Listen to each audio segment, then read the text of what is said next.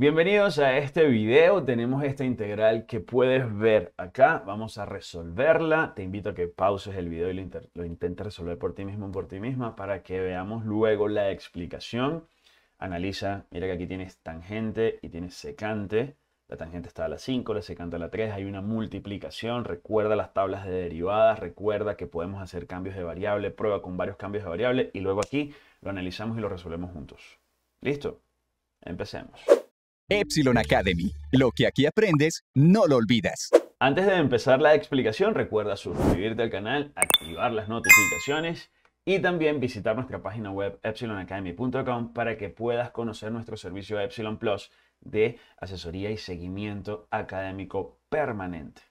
Entonces vamos a darle con esto. Mira que tú tienes una multiplicación acá de secante y la tangente. La tangente está elevada a la 5, la secante está elevada a la 3 te invito a que pruebes con un cambio de variable con la tangente. ¿Qué pasa si una variable u es igual a la tangente? Haz el ensayo para que veas cómo hay un momento donde se tranca todo.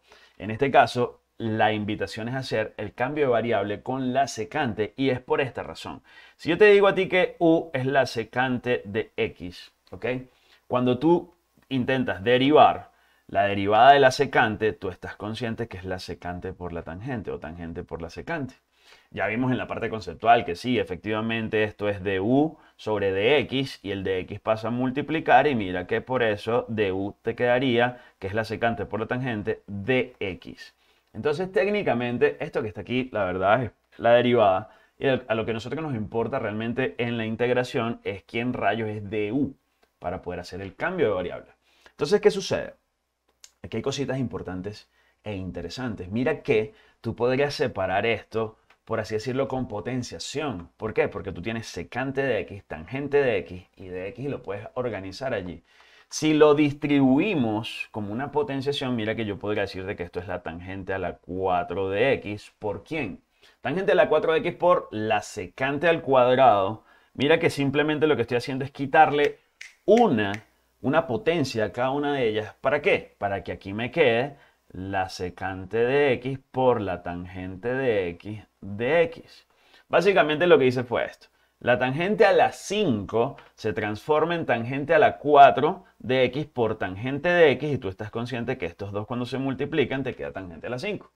Y la secante de x, la que estaba elevada a la 3, pues se separó en secante al cuadrado por secante de x, que eso es secante a la 3. ¿Con qué intención? Mira hacia dónde vamos. La intención es que el cambio de variable funcione y en este caso, para nosotros, mira que aquí tenemos secante de x por la tangente de x de x y ya nosotros sabemos que eso es de u. Entonces aquí ya podríamos hacer el cambio definitivamente. Qué pena la interrupción, la explicación se está poniendo buena, pero antes te quiero invitar a que cuando termines este video ingreses a nuestra página web epsilonacademy.com y conozcas nuestro nuevo servicio Epsilon Plus con membresías mensuales que te traen contenido completamente exclusivo, clases en vivo, más aprendizaje y muchos más beneficios. Epsilon Plus es mucho más que una clase. Ahora sí, te dejo para que sigas aprendiendo así con nosotros. Si eso es así, mira que nos quedaría la integral de quién? De la tangente a la 4 de x por la secante al cuadrado. Pero recuerda que la secante era u para nosotros y por eso sería u elevado a la 2 y todo lo demás simplemente es de u. Porque mira que de u es la secante por la tangente por dx. Entonces hasta ahí, hasta ahí ya hemos hecho un avance importante y aquí es donde nosotros tenemos que decir, bueno, ahora me queda una combinación rara. Tangente de x con u, eso ¿qué hacemos en este caso? Ahí es donde viene el conocimiento previo que debes tener de trigonometría. La parte previa de trigonometría, si necesitas repasarlo, por favor, ve al tema de trigonometría en este momento para que tengas en cuenta lo siguiente. ¿Tú te acuerdas la identidad fundamental de seno de x más coseno de x igual a 1? Si tú divides todo entre el coseno, te quedaría en este caso eh, la tangente, en este caso sería la tangente de x, aquí recuerda que la identidad fundamental está elevada al cuadrado, cabe destacar. Entonces tendrías la tangente de x, la tangente al cuadrado, más 1 es igual a la secante al cuadrado de x. Entonces ahí tienes esta identidad. Mira que yo no te estoy colocando la expresión, yo me acuerdo de la identidad fundamental y bueno, si esa la dividíamos entre el coseno cuadrado, me quedaba la tangente al cuadrado, coseno cuadrado sobre coseno cuadrado es 1 y 1 sobre el coseno cuadrado es la secante al cuadrado. Esa identidad a nosotros nos dice algo relevante. ¿Por qué? Porque mira que la tangente al cuadrado de x al final es para nosotros la secante al cuadrado de x menos 1. Si eso es así, observa que aquí tenemos la tangente a la 4. Ah, pero ya va, espérate un momentico. Si yo tengo la tangente a la 4, la tangente a la 4 es lo mismo que la tangente al cuadrado de x elevado al cuadrado.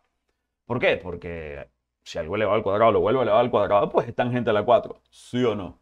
Si eso es así, ah, no, ven acá, panito, porque tú me estás diciendo a mí que la tangente a la 4 es esto, que es la tangente al cuadrado elevado al cuadrado. Y si eso es así, pues todo esto estaría elevado al cuadrado.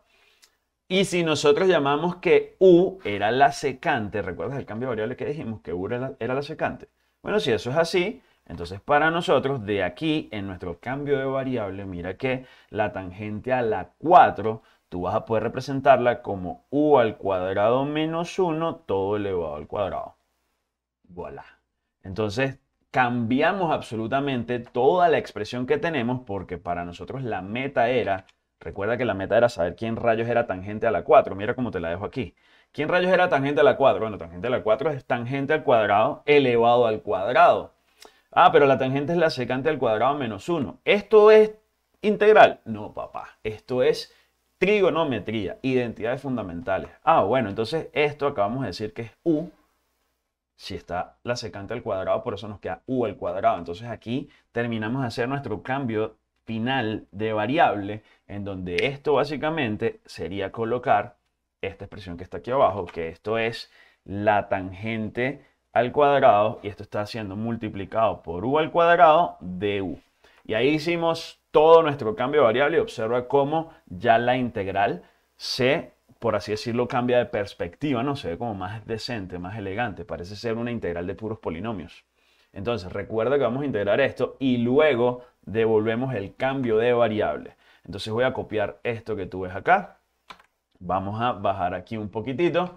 Vamos a copiar acá y esta va a ser nuestra nueva integral. Y en este caso pues tocaría trabajar con la parte de los polinomios, los productos notables, álgebra, toda esa parte conceptual es esencial.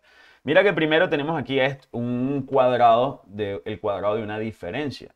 Nosotros ya sabemos que eso sería el primero al cuadrado, si es u al cuadrado, al cuadrado daría a la 4, menos dos veces el primero por el segundo, es decir, menos dos veces u elevado a la 2. A eso después se le suma el segundo al cuadrado, que sería 1, y luego esto está siendo multiplicado por u a la 2 de u.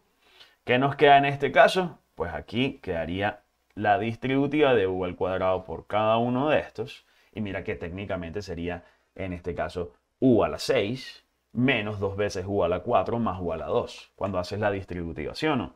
Entonces mira que u a la 6 menos dos veces u a la 4 más u al cuadrado y todo esto sería de u, que es nuestro diferencial que está aquí involucrado por nuestra variable u.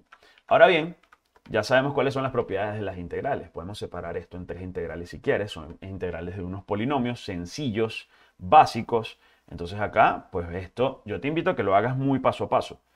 Entonces esto sería la integral de u a la 6 de u menos, mira la, propiedad aquí que voy a sacar el 2 de allí, dos veces la integral de u a la 4 de u más la integral de u a la 2 de u.